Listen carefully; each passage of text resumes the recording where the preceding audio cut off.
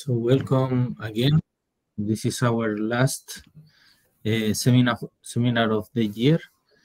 So today we have the pleasure to have uh, Giada Grossi uh, from Paris 13, uh, who is going to speak about elliptic, curves, elliptic curves in p-adic towers, an introduction to Iwasawa theory. Thank you. Okay. So thank you very much for the introduction and also the opportunity to speak at this seminar.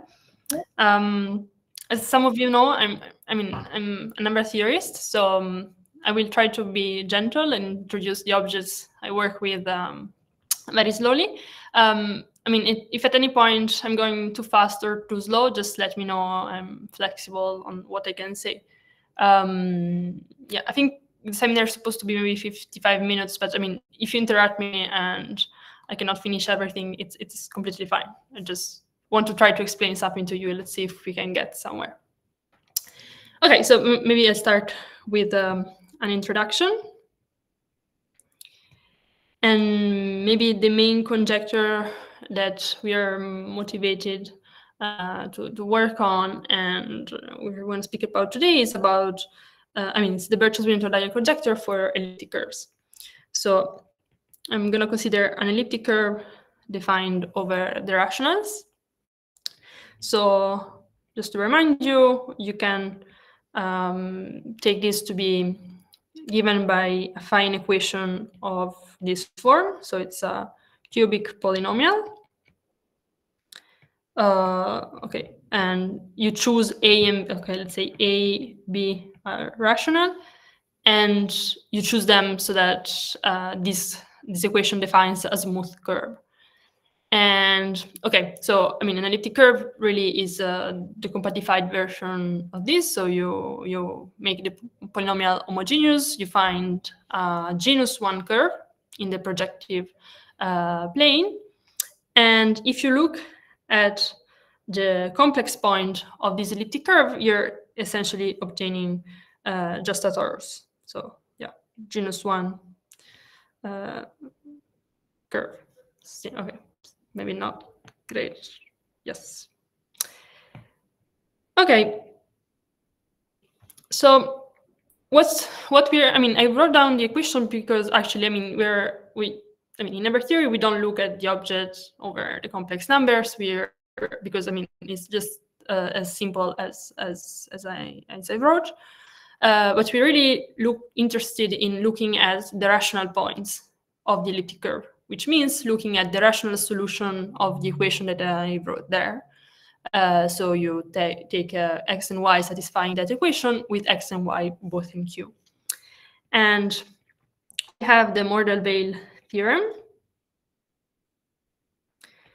which tells us that um, if you take the rational points of the elliptic curve, this gives you finitely generated abelian group. Well, maybe first of all, let me just add one thing.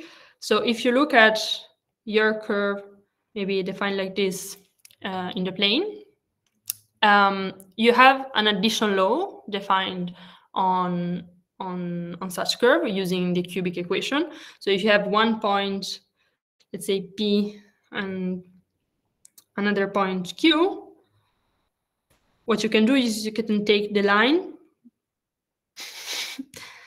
I mean, I'm not very good at drawing, so that's why I don't do geometry also. Let me try to fix this. Well, okay, imagine it as it was a line between two points on the curve. And so this is a cubic equation. If you have, I mean, you have the intersection of the line with the with the cubic, you, and so you obtain a third point.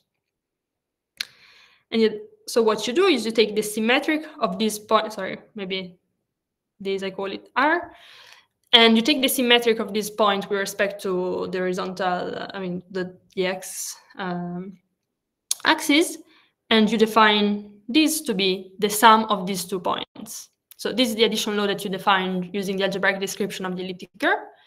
And what you can easily see is that if P and Q are rational points, so they are defined by rational coordinates, then you're taking, I mean, the line that defines the line through P and Q also as uh, rational coefficients. And so you're intersecting with, um, with a cubic, two solutions are rational, so the third one is also rational.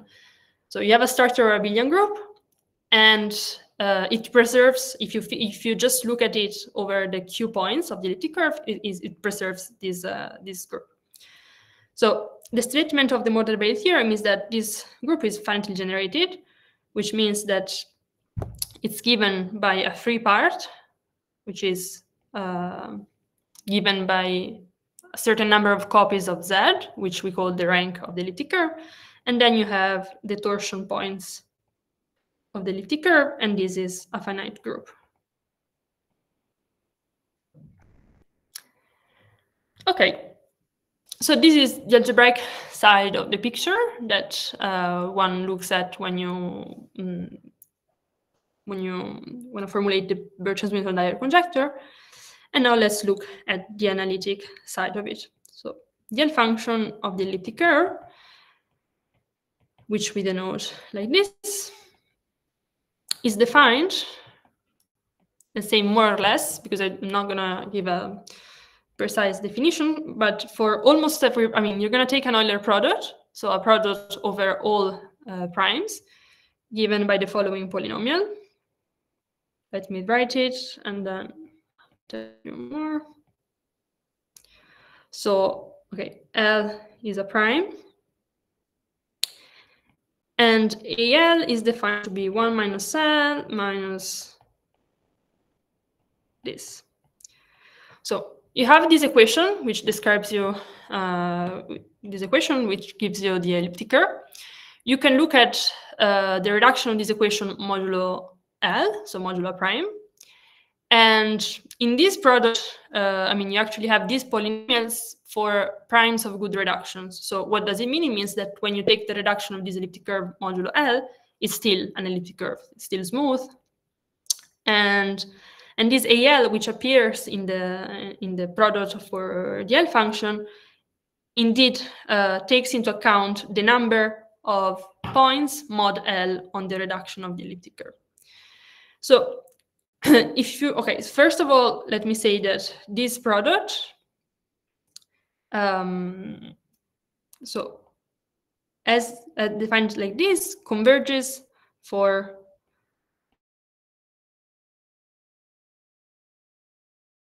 So s the variable s is in C.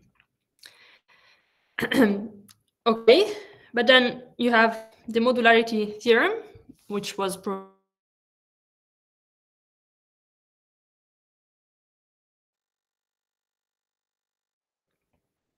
L function is the L function of something automorphic. So it's the L function of a modular form of weight 2. Okay, I mean, I'm not gonna... Do you see my screen? I don't... Yes, we see, we see you. Yes, yes, sorry, sorry. I mean, I think it's a bit slow in updating it, but so um, I don't want to define the function of, of, automorphic form, but the point is that this object uh, on the right is something that we understand better. And so in particular, we know that uh, this L function has analytic continuation on, on the whole complex plane. And then you also have a functional equation, which means you're relating the L function at S up to this, which is called root number, to the L function of E 2 minus S, where this root number depends on the elliptic curve is and it's just plus or minus 1. So in some sense, this L function, okay, it's an analytic, uh, it's an analytic object. You can um, understand it better if you look at, look at it in terms of the modular form. But in terms of the elliptic curves, what's encoding is actually like a lot of local information. So the number of um, points on the elliptic curve modulo all the local places, all the primes. Whereas on here, for the Mordell-Weil theorem, the notion of rank uh, is actually encoding some global information. So you're looking at the global solution uh, solution of the equation over Q. And so the Birch and Swinnerton-Dyer conjecture gives a link between uh, these two objects. So it predicts the following. It predicts that the order of vanishing of the, of the L function at 1 is equal to the rank of the elliptic curve. So note that, I mean, by this functional equation, the center of this functional equation is at s equals 1. And, and so in particular, this order is even or odd depending on the root number of the elliptic curve. Then, I mean, somehow the value at s equals to 1 is the interesting value for, for this L function. And the conjecture predicts that this, this analytic rank is equal to the algebraic rank, which tells you how big the Mordell-Weil group is. Okay, and there's also a refinement. Refinement of this conjecture, um, which tells you exactly, so you're looking at this uh, the value of the L function at one, and and you look at the leading term in the Taylor expansion of this L function. So if we call this R, then you can look at the leading term of the Taylor function, so the R derivative of the L function at one, and then this needs to normalize, so you have a regulator and a complex period attached to the elliptic curve. And on the other side, I mean, I'm not going to use all the objects. So here we have the Tamagawa factor of the curves, uh, which I don't want to talk about. It encodes the information of sort of bad primes, so the primes of bad reduction for the elliptic curve. Here you have the cardinality of the torsion group uh, of the rational points squared. And then here, the other thing that you have is uh, the Tate-Shafarevich group. So this is the Tate Shafarevich group of the elliptic curve. And I mean, uh, also this I'm not going to introduce, but um, it's like a very mysterious object that one introduces using um, Galois cohomology, and it's uh, I mean it's conjectured to be finite, uh, but we don't know this in general. So, for example, I mean already part of this refined conjecture is that this Tate-Shafarevich group is finite, and then its order is relative but via this formula to the L function. So I mean, you can think of of this formula as a link between the L function and the Tate-Shafarevich group. Everything else, I mean, we can just consider it like think of it this way. And if you think of it this, this way, this is an, an analog, analog uh, of the class number formula. And again, since you're not number theorists, maybe this is not very helpful. Uh, but I mean, the class number formula, like for number field, gives you um, a relation between the zeta function of that number field with the class group, right? And I mean, you can think uh, of this uh, Tate-Shafarevich group as the class group, which I mean, for number field, we know it's finite. I mean, for the, this more complicated object, it's not known in general. But uh, indeed, you're giving a relation between something analytic and the class group of the elliptic curve. Okay, so this is uh, the statement. And maybe let me say that the biggest result that we have about this conjecture is given by a combination of works of I mean, in the 90s of Gross-Zagier and the work of Kolyvagin, uh, which prove the following. So if you take uh, essentially R to be 0, 1, they prove one implication. So if the analytic rank, so the order of vanishing of this L function is equal to 0 or 1, then the rank of the elliptic curve is 0 or 1, and also, the Tate-Shafarevich group of the elliptic curve is finite. So this is really uh, most of uh, what we know. uh, about the Birch-Swinnerton-Dyer conjecture, it's really hard to get something, um, uh, I mean, in higher rank. Uh, but something that you can do is, for example, try to prove the converse implication or uh, try to get to um, prove in some in some cases uh, this exact formula. And what I wanted to talk about today is um, is Iwasawa theory, which is a way of proving these type of results in rank zero and one. So a way of proving uh, hmm, cases of so the converse implication or uh, the refinement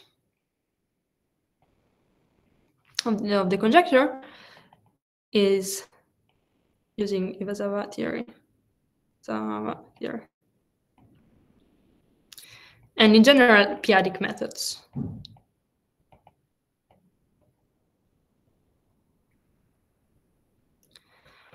So I'm gonna try to explain a little bit uh, what uh, this is about.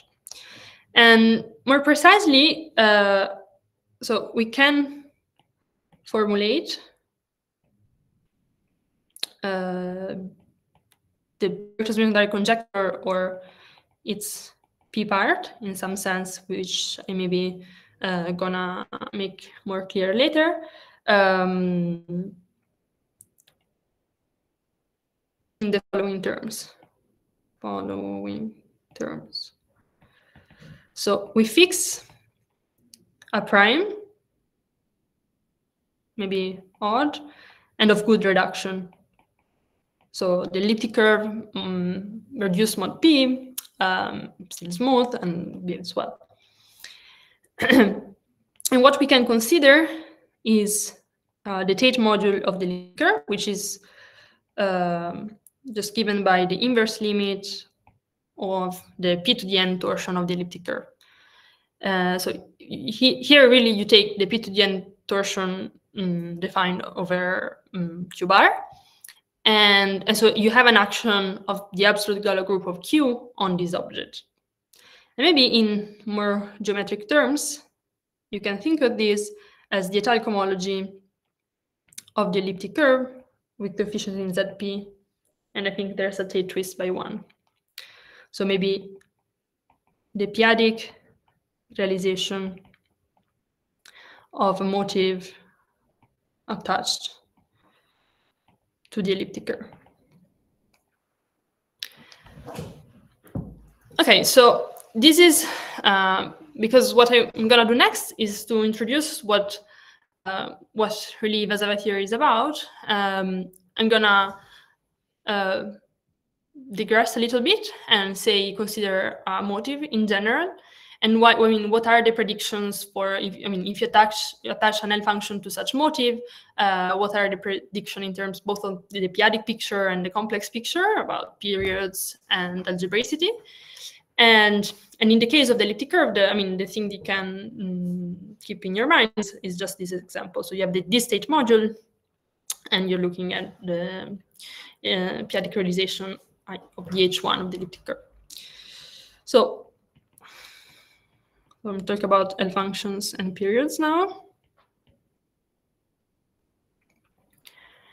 And as I said, maybe let's take a motive, motive uh, over Q. Um, not really specifying what I mean by that, but you can think of it as a system of um, compatible um, realizations. So you can take the cohomology of any smooth variety uh, over Q. And there's a way to such object to attach an L function. So I'll, uh, I mean, let, let me write this decomposition. So you're going to have the Archimedean part, so the infinity part of this L function, and then the, the finite part um, of the L function. So this here is a product of gamma function. Let's say depending on the Hodge realization of the motive. So, I mean, you take the Hodge realization, you're going to have a Hodge decomposition, and depending on the weight and on the, the degrees that you have there, you're going to have a suitable product of gamma function. And and this uh, this part here, that was what I denoted as LF, instead is going to look at the L-adic realization for every L. So in the um, formula that I wrote before, here I only had the finite part, but I mean, really the L function here has a gamma function. But so this, if you want, is the LF part. So you're going to take the L-adic realization of the motive and take the characteristic polynomial of that there, essentially. Okay, so you, there's a way of doing this. And and you expect, uh, I mean, analytic continuation and a functional equation. Uh, I think it's, I'm going to write it in this form.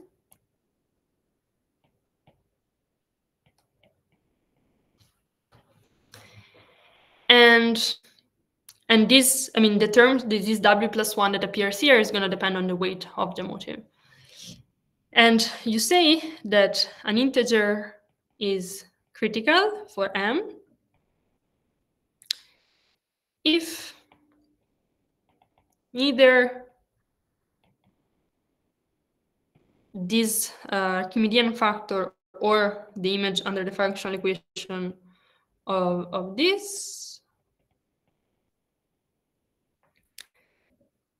have poles at s equals n. So this is the definition. It was given by, by Deligne. And let me quickly go back to, uh, if you take the motive attached to the h1 of the elliptic curve, then this gamma factor, the yeah, I mean this um, um, Archimedean factor is just given by up to some power of pi, just given by the gamma function, and w is going to be equals to one because we said that the functional equation is with respect. I mean, it's s to minus s, and also this is going to be the weight of the motive, and and so, I mean, you want gamma s and gamma 2 minus s both to not have poles at uh, the integers you're considering. And we know that the poles uh, of the gamma function are uh, for negative integers. Uh, so, I mean, the question we're putting is s bigger than 0, so that this doesn't have poles. And for the the other one not to have poles, you wanna again have two minus s greater than zero. Right? Yes. Uh, and so what you get is that the only critical value is s equals one, which indeed was the value that we were considering in the in the Birch-Swinnerton conjecture. But more generally, if you take instead of, I mean, in here, if instead of um, taking the L function of a modular form of weight 2, you take a modular form of higher weight, you're going to have more uh, critical values. Okay, so this was the example. And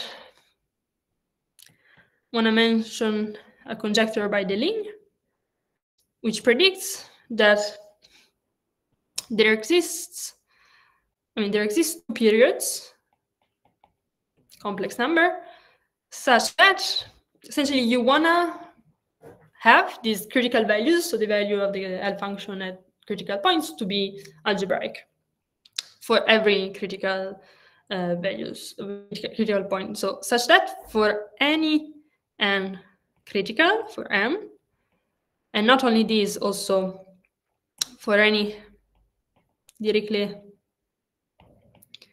character. So you can consider if you have a Dirichlet character, you can consider the motive twisted by such, essentially such finite order character, which I will denote by this. You can evaluate the critical point, and then you divide by the period, and the conjecture is that this is algebraic, so this is in Q bar. No, Q bar, like this, could be zero. And where the sign is determined only by uh, I think this. So depending on if the character is even or odd, and then you're also looking at if n is even or odd, um, then you, you pick the, the sign of the periods. And so the idea is that, I mean, up to this sign, um, you have only two periods, and for all critical values, this, this is an algebraic number. And, okay, Maybe but, uh, for these motive for these L functions, even we don't know the analytic continuation. I mean, a, a lot of things are conjectural before reaching to this Deligne's conjecture. Yeah, yeah, sure, sure, sure, sure, sure, sure, sure.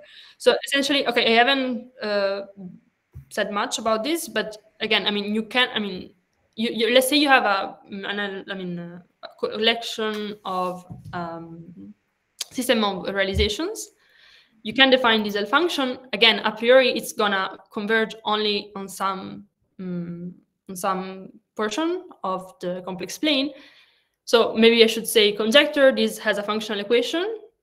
I, I mean, it, it, it, has analytic continuation. It has a functional equation. And so you can make sense of what's this. You can evaluate that.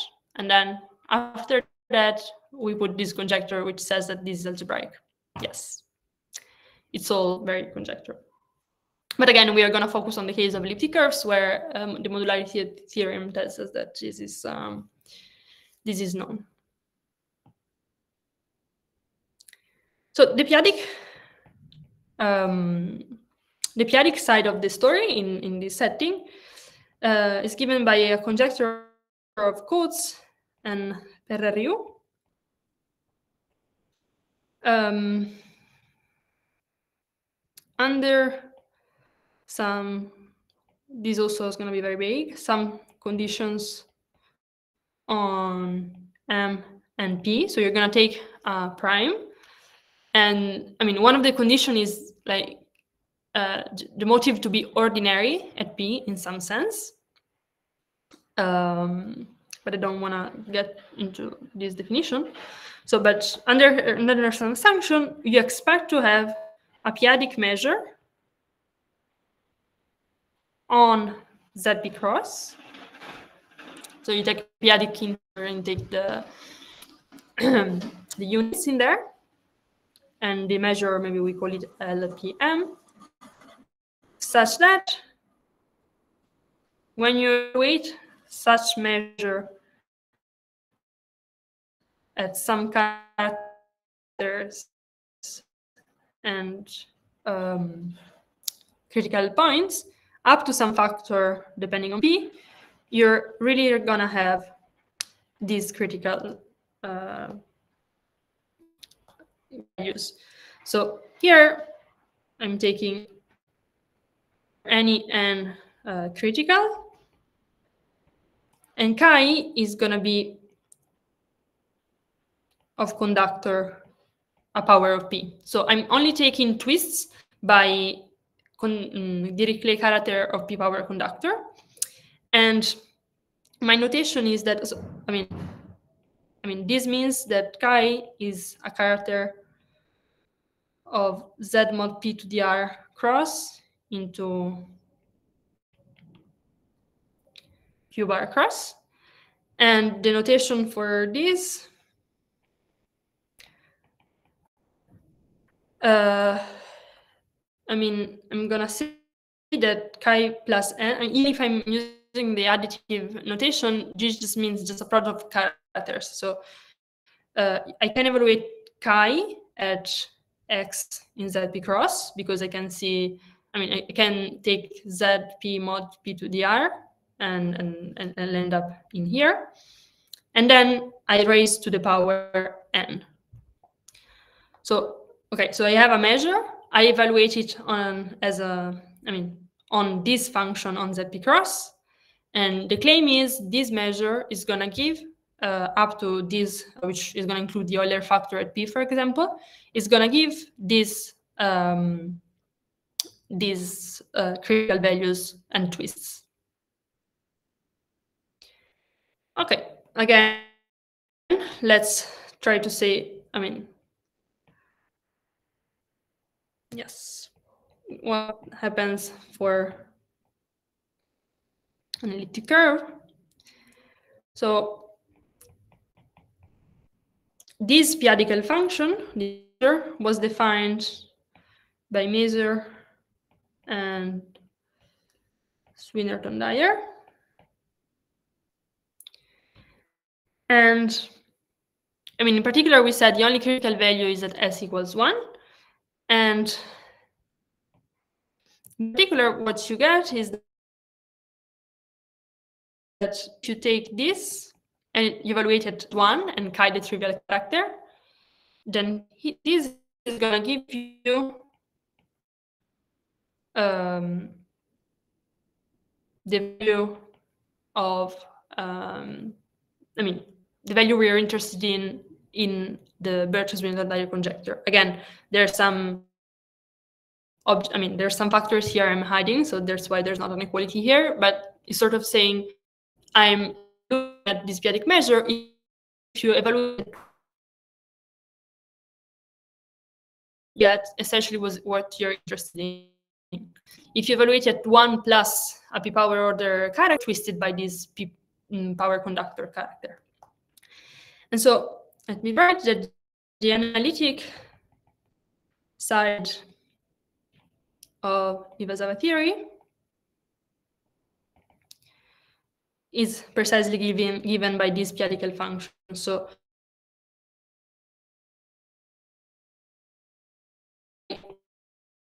looking at, let's say, the analytic side of the Berkeley power twist. So you're, I mean, the bottom, the, the, the value at one, it gives you what you're interested in in BSD. But then if you if you look at the whole measure, it's not gonna only encode this, but also the value of all the twists. Okay, mm, are there questions so far? And then I'll move on the algebraic side of the picture. But in the BSD, you didn't want to look at the derivative of the alpha? Yeah, yeah. So um, yeah, that's a good point. I mean, if the for example, what you expect is that if uh, okay, of course, if the rank is is, not greater than zero, this L value is going to be zero, right? And so this L function at one is going to be zero. But in general, when you have this um, p-adic L-function, you expect them to be non-trivial. So essentially, I mean, in some cases, and in, in this case, for example, it's known, you expect that there exists a character, maybe, I mean, maybe not the trivial one, but if you go high enough, high enough, high enough for the conductor, you expect the twist to be non-trivial. But again, it's true, as uh, Roberto is pointing out, that the implication that we can get from Iwasawa theory to the Birch's-Swinnerton-Dyer conjecture, if we only work over uh, in this setting, you're gonna get information only in rank zero. To get to rank one, then you're gonna go over a quadratic imaginary field. Uh, but in general, um, yeah, I mean, you cannot obtain information about higher derivatives. I mean, there's I don't think there's many known construction of p-adic L-function encoding derivatives as information. They mostly encode L values and twist values. I see, I see, I see. Thank you. Okay. Maybe let's try to say something about the algebraic uh, the direct side of this the Iwasawa theory, but go to the tower.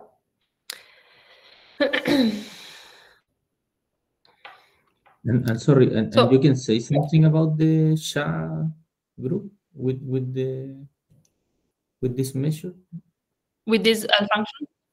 Yeah. Uh, I mean, once you get to um, to the main conjecture, yes, but um, usually, I mean, the, not this the p-adic L-function, but the algebraic analog is going to encode information about the SHA. But usually, again, if it's in analytic rank zero, you know that the SHA is finite.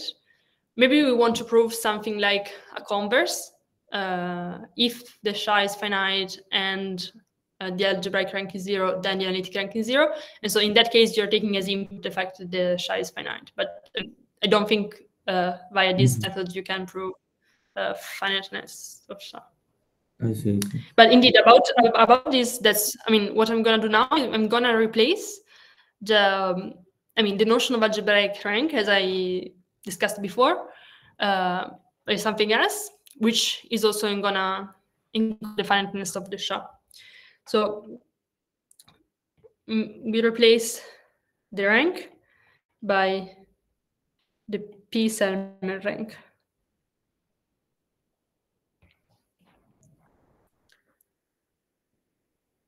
Okay, let's see if we can do this. So if you if you look at the p torsion of the elliptic curve defined over q bar, as I said before, you have an action of the absolute Galois group of q bar over q. And you can take the union of the p to the n torsion for all n. And what you can look at is group cohomology, like we call it Galois cohomology in this setting because you're looking at the action of this Galois group. acting on E p infinity. And there's a way of defining what's called the p infinity Selmer group of the elliptic curve uh, over Q as a subgroup in here. And yeah, so I mean, maybe I'm not gonna get into the definition, but essentially what you're, okay, so maybe if you have seen this before, you use the exact sequence. Uh, so you take p to the n torsion inside the q bar point of the elliptic curve, and then you take multiplication by p to the n, which is surjective. And then you take um, the long exact sequence given by, by this short exact sequence. So the H0 is gonna just be the, I mean, the P to the n torsion or the point of the elliptic curves defined over Q, and then you get to the H1. So this is gonna give some maps, and then you do that also uh, at um, at non-Archimedean places. So you instead of taking uh, Q, you take QP, or no, sorry, no, maybe, maybe, yeah, QL. And so this is going to cut out some local condition which uh, will define this Selmer group here. But again, mm, maybe this is uh, too much to go into as a definition. But what you get is that, I mean, you define it in a way so that you get the short exact sequence as follows. So in the middle, you have this P infinity Selmer group. And then, I mean, on one side, you have the SHA, the P part of the SHA, which is a divisible group, this is known. And on the other, uh, on the other side, here you have the torsion point, uh, sorry, the rational points of the elliptic curve you're tensoring with QP mod ZP. Um, this is just because all of these are QP mod ZP modules. Like this is a QP ZP module. And and so I mean the point is that maybe let's write they're all QP ZP modules. And the rank as QP mod ZP module of the first bit is really the rank of the elliptic curve. So you're you have the rational points, you have you have your finitely generated abelian group. Tensoring with QP mod ZP, you're killing the torsion part. So here you're gonna have um, exactly the number, the rank uh, copies of QPZP. So that's what you have. And, and in particular, if the Tate-Shafarevich group, or at least its p part, is finite, then this is also equal, equal to the rank as QPZP module of the P infinity Selmer group. Right, like here uh, you have something torsion, uh, here you have something, I mean, the rank copy of QPZP. So the rank, I mean, the number of copy of QPZP that you have in here is precisely the same as in this one. So I, I want to do this because, um, I mean, you can reformulate BSD by saying, I mean, you fix a prime P and then you say uh, the SHA is finite, the P part of the SHA is finite and the analytic rank is equal to the to the, the QPZP rank of this Selmer group. And this is somehow something that you can do for more general p-adic uh, global representations. And it's also what's going to allows allows us uh, to do the, I mean, to sort of do the correct definition in the p-adic tower. Okay, so maybe want analog in the p tower. I mean, what do I mean as p tower now? So I'm going to take inclusions of number fields like this.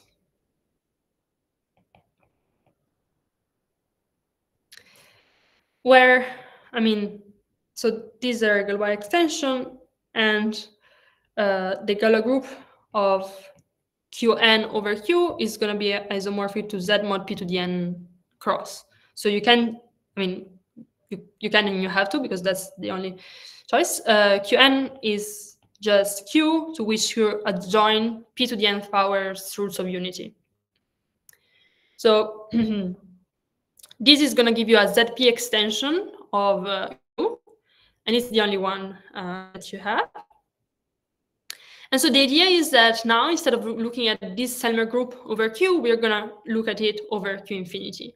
Because, I mean, and so the Galois group of this tower is ZP cross. And so, I mean, you have the ZP cross appearing here, the ZP cross appearing in the p-adic L-function, and then these two objects are going to be related in the main conjecture of Iwasawa theory that I'm going to state. So you can consider some P infinity Selmer group uh, over, sorry, over Q infinity with an action of the Galois group of Q infinity over Q, which I call gamma, which is isomorphic to ZP cross. And so this is going to be defined so that what happens, you have an exact sequence similar to the one I wrote before, but on the layers of this tower. So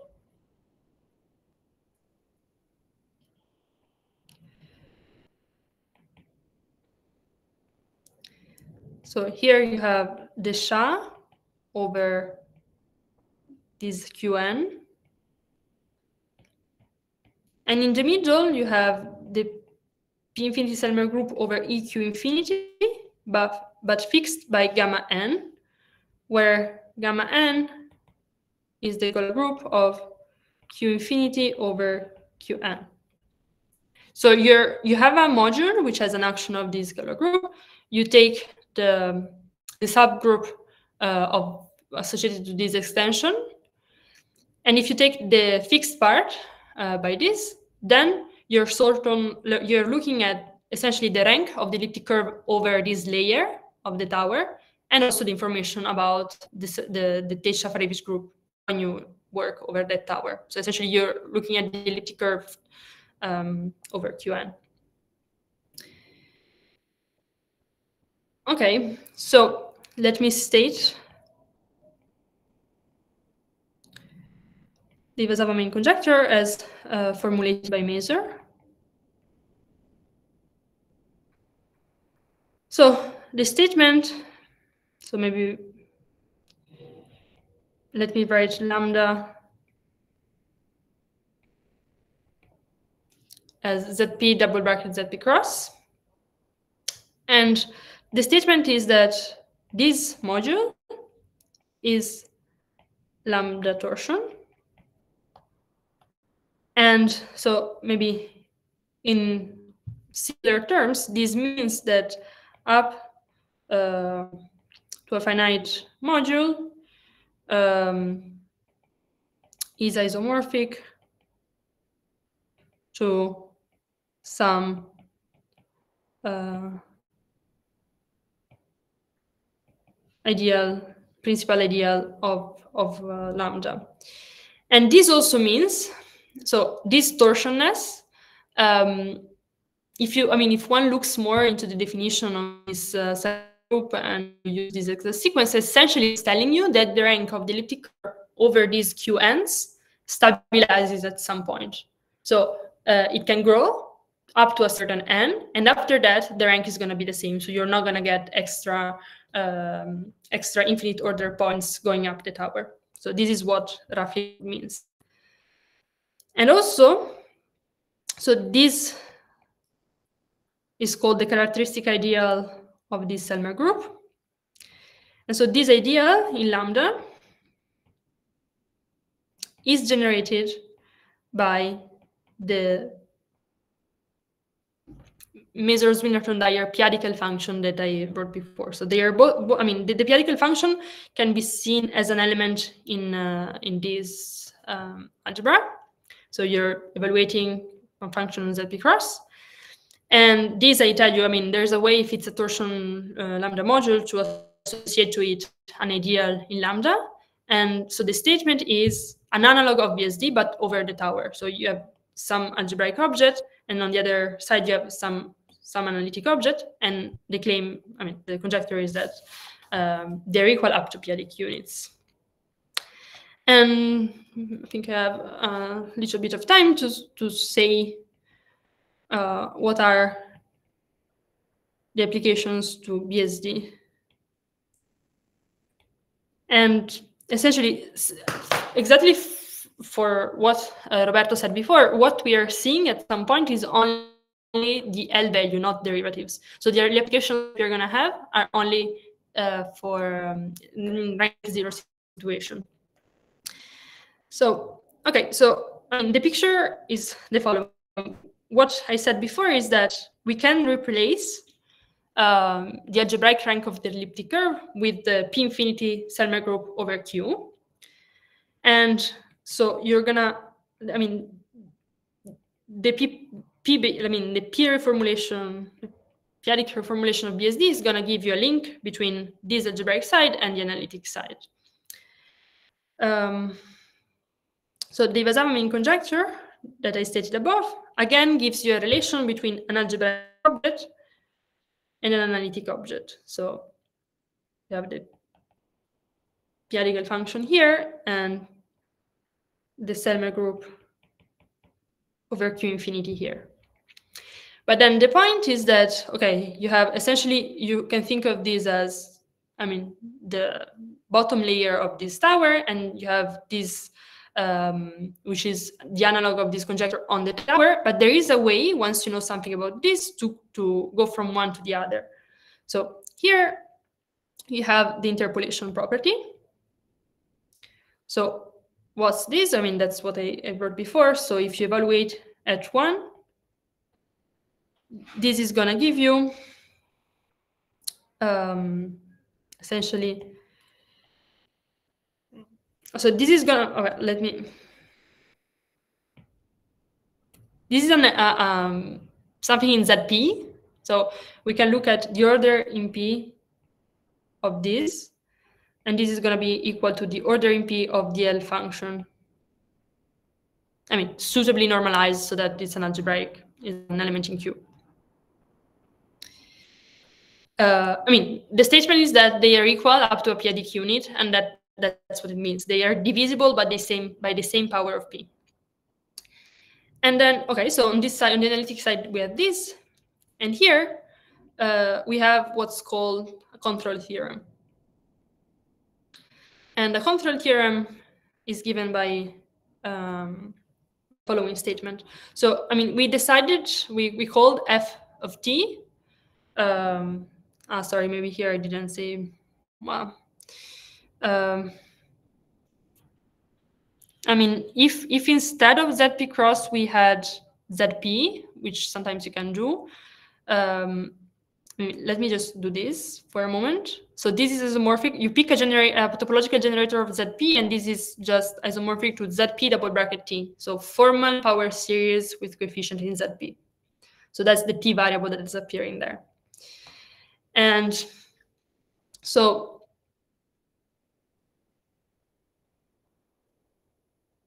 so we said that we call this formal power series the generator of this characteristic ideal of the Selmer group in the main conjecture.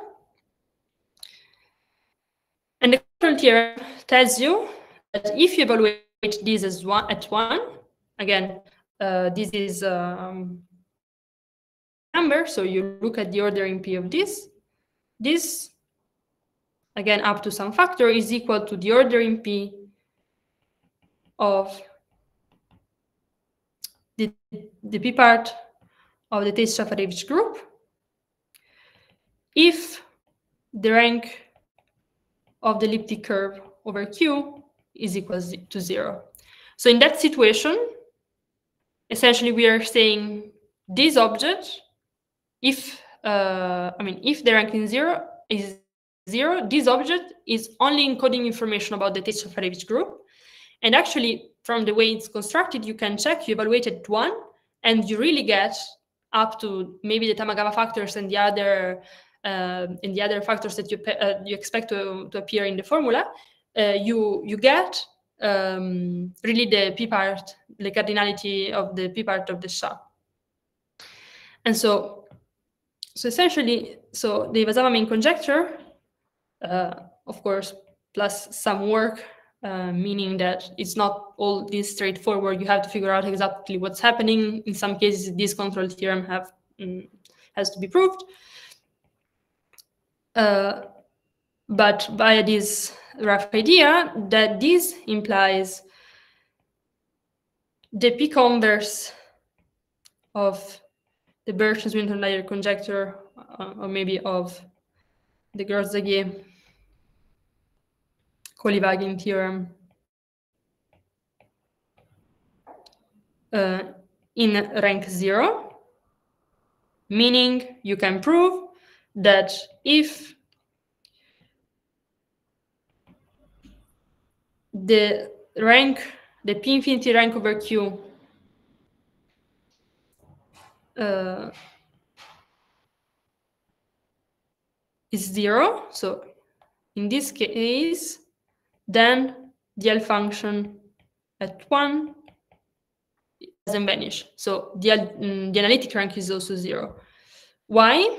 I mean, uh, I hope uh, this is uh, clear. So, I mean, if you have the main conjecture, it means that this and this are equal up to a p-adic unit, right? Like we said that they generate the same ideal. So when you evaluated one in particular, they're equal in ZP up to some unit.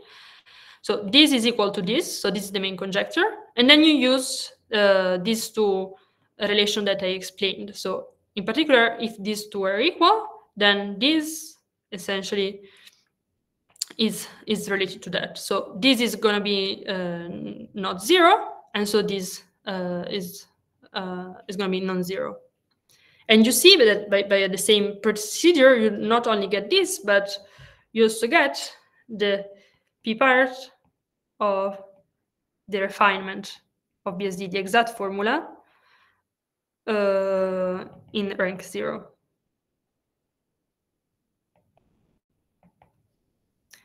Again, because you're relating the L value to the Tate-Shafarevich group. So the sort of class number formula I was telling you about.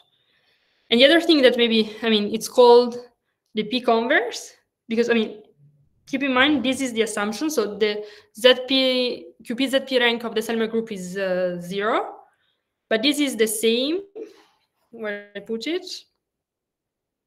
This is the same by this uh, exact sequence by saying that, I mean, no, sorry, it's not the same, but this is implied by the fact that the, the rank uh, is zero and this is finite. So the statement that you, to have it, the p converse of the Gross-Zagier-Kolyvagin theorem I stated before, you have some, I mean, the statement of the form, uh, the psi is finite and the rank is uh, zero implies the analytic rank uh, is zero. So um, yeah. So here you're gonna put the p infinity here, but you wanna prove this implication.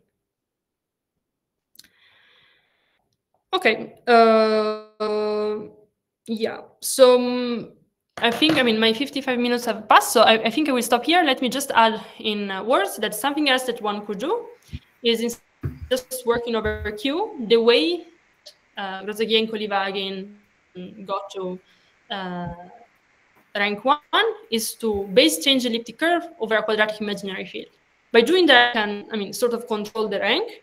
And there's a way of producing, if the rank is at least one, of producing infinite order points, so something which generates the Mordell-Weil group, which is the uh, Diagonal points constructed on the modular curve.